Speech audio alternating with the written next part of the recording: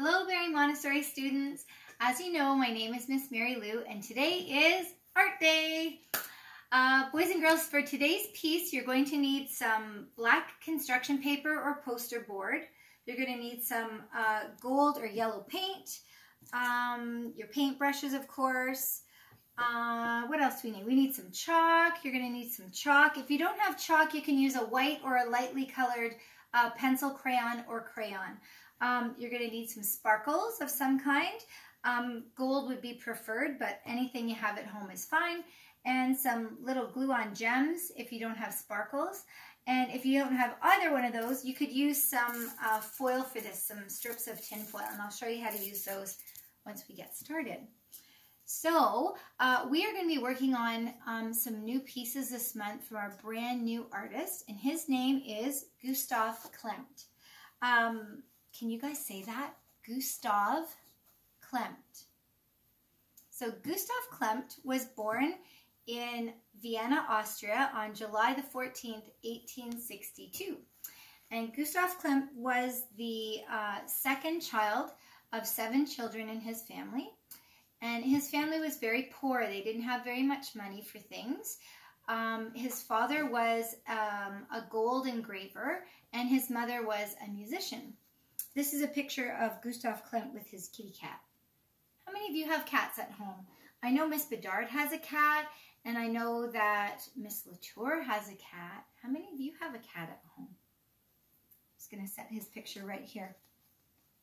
Um, Gustav Klimt won, um, won a scholarship to um, go to university, and he went to the University of Applied Arts in Vienna.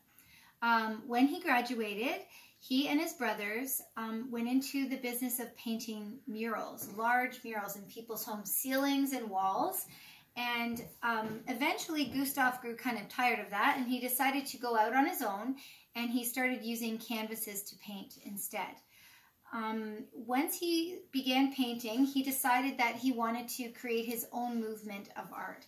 So he created a group, um, a very small group, and they were called the Vienna Secession. And that group would later um, would later be known as the creators of a style of painting that was called Art Nouveau. So Gustav's style of Art Nouveau was very colorful. It was colorful, it had lots of curvy lines and shapes, and um, a lot of his work had shiny gold, very similar to what his dad um, worked with when he was a gold engraver. So let's get started on today's piece. Um, first, we're going to start with our piece of black construction paper. And on this, uh, sorry, I've got to tell you the piece. Ah, the piece we're going to be doing is called the Tree of Life.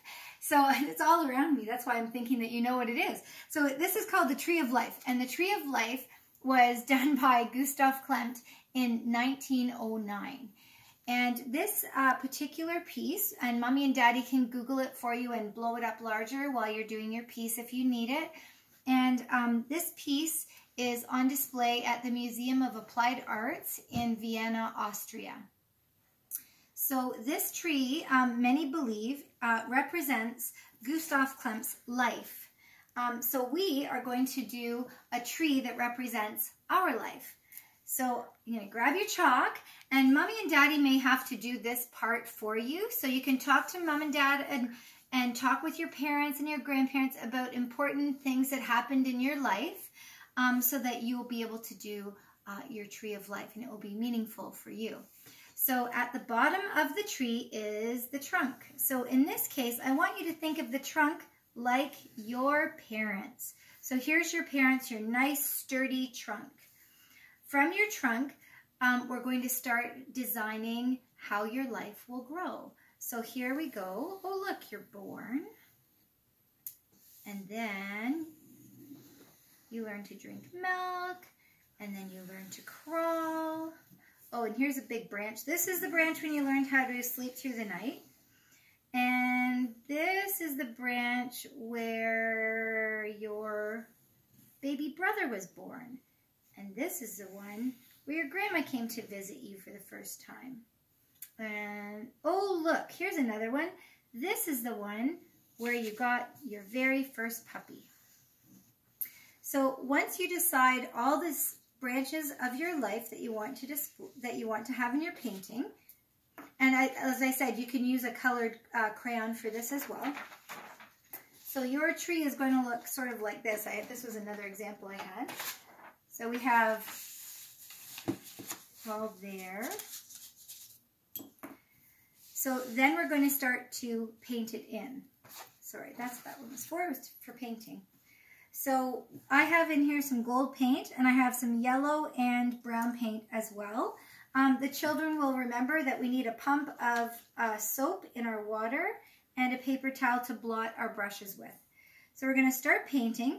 The easiest way to paint is paint the spirally curly curves first. Don't paint up the middle. We're going to leave the trunk empty until we get near the end. So start at the curves and paint all the way around.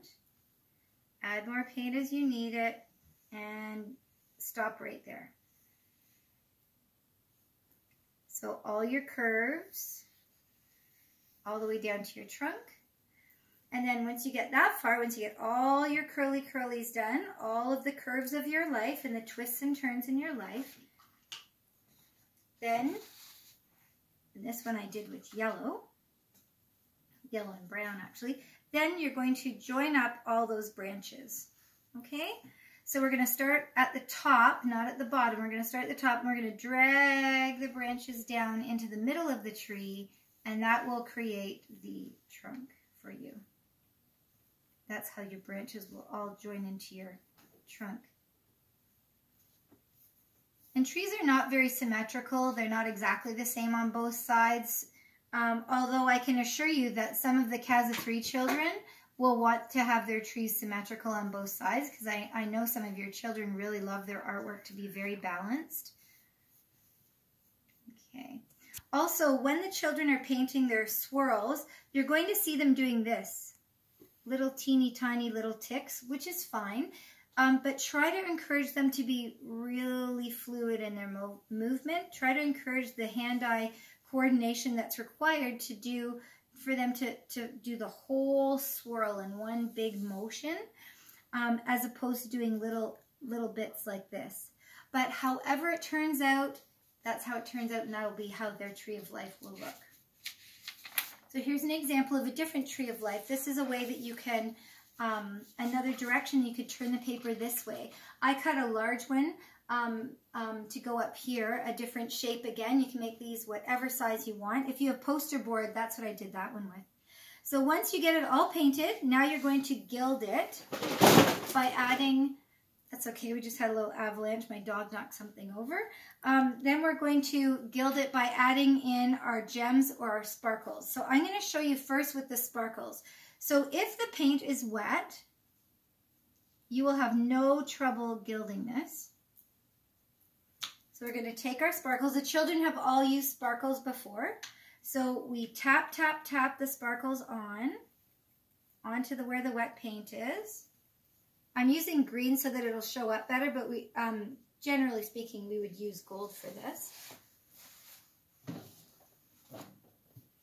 And then um, I've got a bucket here, but you could use a pie plate or anything at all at home. And you're going to knock those um, the extra sparkles off. And then you have, you have it gilded. If you only have the gems, then you don't need glue again as long as your paint is wet. So you would take your, uh, your gems and just stick them right into the paint and they will stick. They'll stick onto the paint just like that. If you only have the foil, then the children can practice their snipping skills and they, I don't have my scissors with me here, but they can snip, snip, snip, snip, or they can snip long skinny strips and then same thing. You would take your paint and pretend it's your glue. So you take your paint and you would lay it, lay uh, some paint down so it's nice and wet. And then you would take your your foil. And uh, point out to the children too that one side of the foil is very shiny and one side is dull and then you would add it on. And then you can go through this piece and um, gild the whole thing.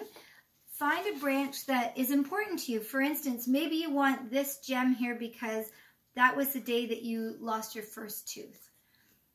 Um, and maybe you want this piece here because that's the day that you learned how to walk or the day that you went to Disneyland. Um, anyways, I want you to send in your pictures. I'm so excited to see them and send them to Barrie Montessori 580 um, at gmail.com. Thank you so much, friends. Take care of each other, and I hope you all keep safe and well until we can all be together again. Bye, friends.